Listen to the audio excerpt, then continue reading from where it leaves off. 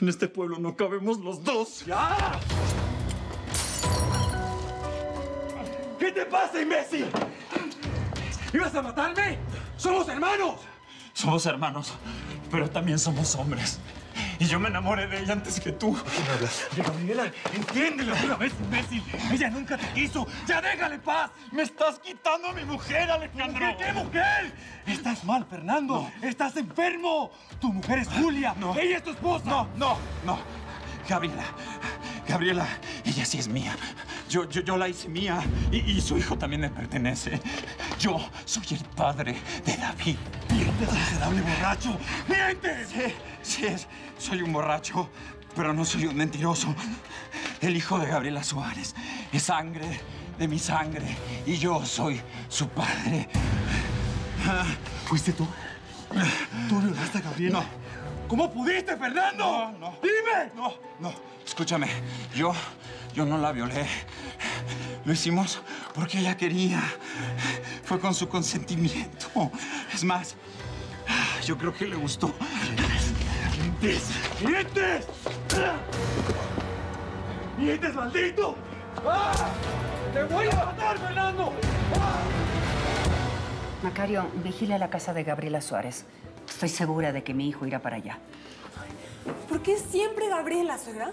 ¿Qué le hizo esa mujer a mi marido que siempre está pensando en ella? Hija, cálmate. Sí, sí, sí, ya cállate. Tengo demasiados problemas con mi hijo. Ya. Yo también voy. Ay, mi suegra no es tan inteligente como ella cree.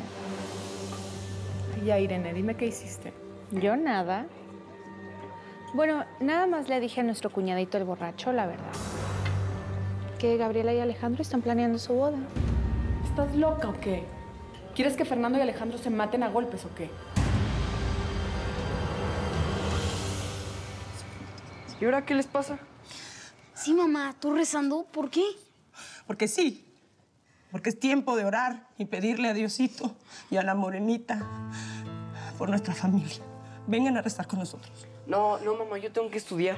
Sí, sí, yo también tengo un trabajo sobre los planetas. David, ¿Sigues sintiendo lo mismo, Francisca? Hija, aquí en medio del pecho. Algo muy malo va a pasar. Ay, no, no, no. Ay, Padre Santo, lo perdones.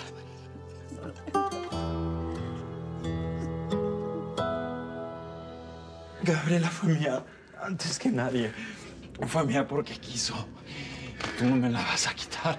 ¡Eres un maldito! ¡Voy a matar, Fernando! ¿Cómo pudiste? ¿Cómo pudiste? ¡Suéltame! ¡Suéltame! ¡Suéltame! ¡Te voy a matar, Fernando!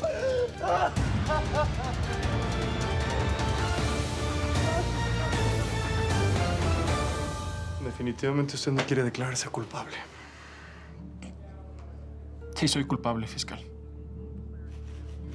Pero de haber traído inocencia a un pueblo de corruptos y de asesinos. De matarla nunca. No sería capaz de matar a nadie, mucho menos a la mujer a la que amo. A ver, Gastón, vamos a darle vuelta a todo el asunto. Supongamos que en efecto no era su intención matarla. Que tal vez se pelearon y ella se cayó.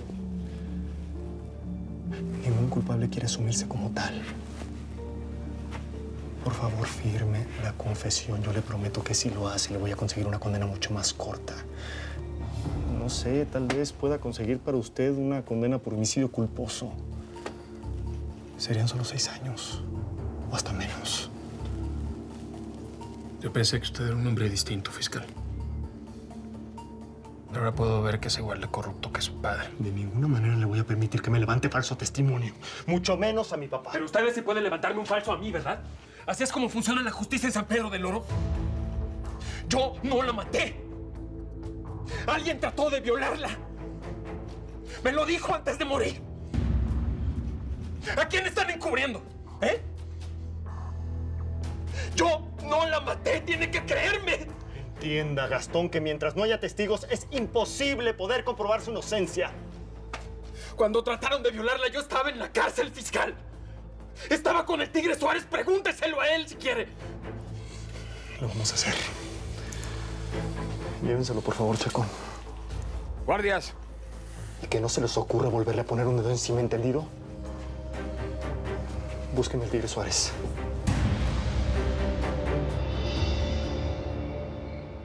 Antonia, eh, ya bloquearon las carreteras.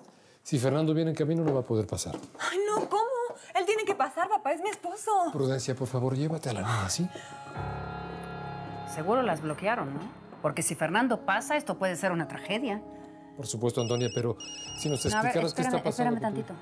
Bueno. Voy para allá.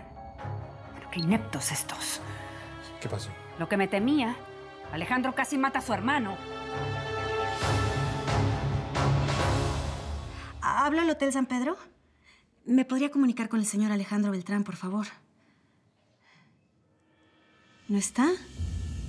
¿Pero está seguro que no está en su habitación? Gracias. ¿Dónde estará?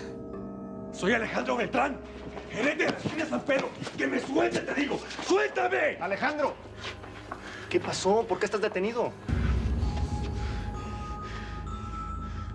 Por poco más y me mata.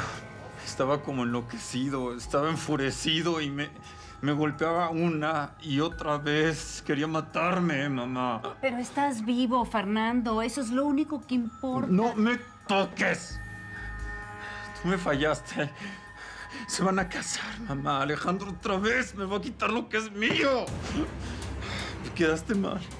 Me mentiste. Ahora, si los tengo que ver juntos, mamá, prefiero matarlos. O prefiero estar muerto. Te tienes que tranquilizar, No, Fernando. no. Le voy a pedir al doctor que te ponga un calmante. No. Estás muy alterado. No, estoy bien. Estoy bien. Ah.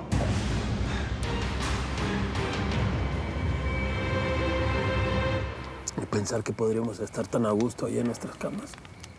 Calientitos. En lugar de estar aquí con tanto frío a la intemperie, con moscos. Solo falta que se nos aparezca una fiera, ¿eh? Ya, no te quejes, hombre. Mira, sea como sea, mañana encontramos la mina y el Tigre Suárez se queda siendo tan pobre como siempre ha sido. ¿no? Salud, pues.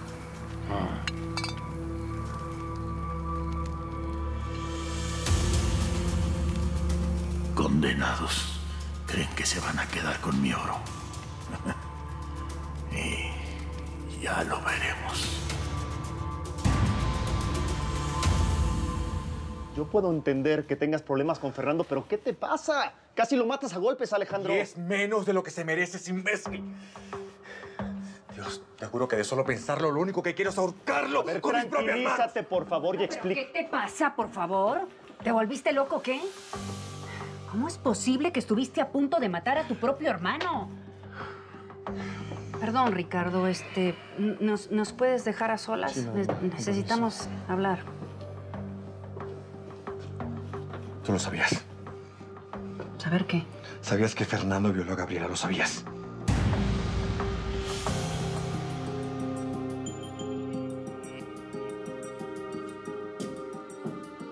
¿Qué quieres? ¿Cómo que qué? Soy tu esposa, vengo a verte. No por mucho tiempo. Vas a ser mi esposa. ¿Qué? ¿Por qué dices eso? Porque no te quiero. No me gustas. Y ya no te necesito porque tengo un hijo. Eso no es cierto. ¿Qué hijo, Fernando? ¿De qué me hablas? ¿Con quién me engañaste? ¿Con quién?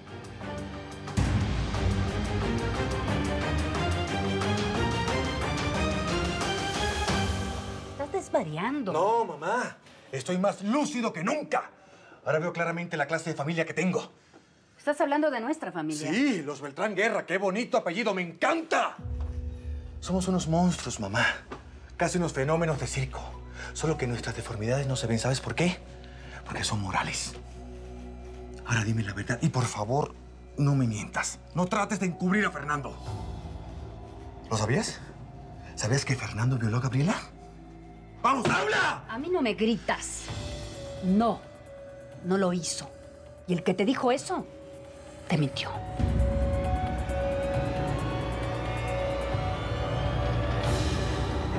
Dime que es mentira, Fernando.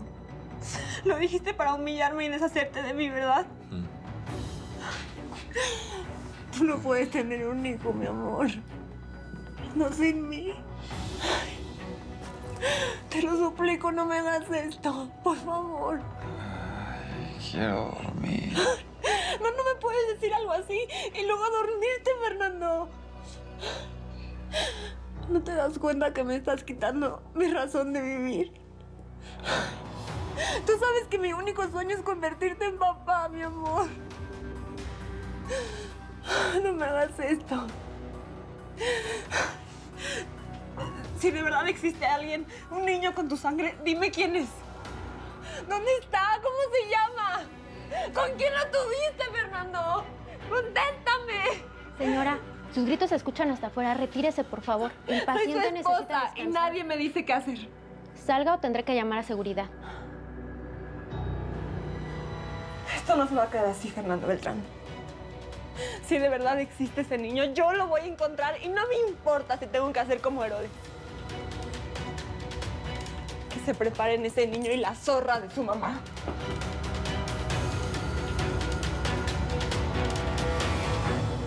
Alejandro, vamos a calmarnos.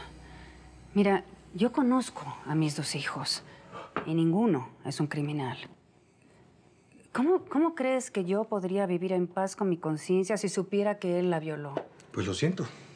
Vas a tener que acostumbrarte. Porque tu hijo merece la cárcel. Y tú vas a apoyarme a hacer la denuncia. No, es que no va a haber denuncia porque eso nunca pasó. Acabo de hablar con Fernando y ¿sabes qué me dijo?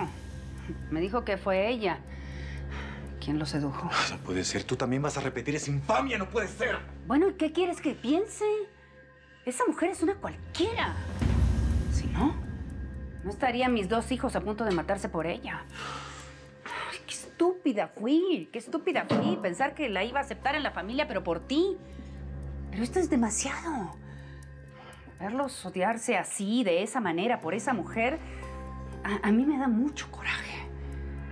Alejandro, quítate la venda y ve lo que está pasando. Ella te puso en contra de tu hermano por culpa de una mentira. No es mentira, mamá. Gabriela misma me contó que la violaron. Y que ese niño es producto de esa violación. Sí, pero Fernando dice que ella consintió en hacerlo. Francamente, yo le creo a él. ¿Qué, qué necesidad tenía un hombre guapo y rico como él de violar a una mujer como esa? Por favor. Eso no tiene lógica. ¿Prefieres creerle a esa mujer que a tu propia familia? Entonces, ¿tú crees que ese niño sí es de Fernando, pero él no la violó?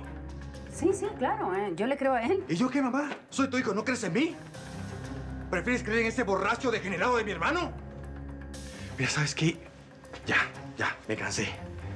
No te creo ni a ti, ni a Fernando, ni a nadie. ¡Ya! ¿Cómo puedes hablar de esa forma de tu hermano y de mí? ¿Cómo puedes abandonar a tu familia por una mujer que en definitiva, Alejandro, se acostó con los dos? Mira, Guerra, mejor vete, por favor, sí. Vete.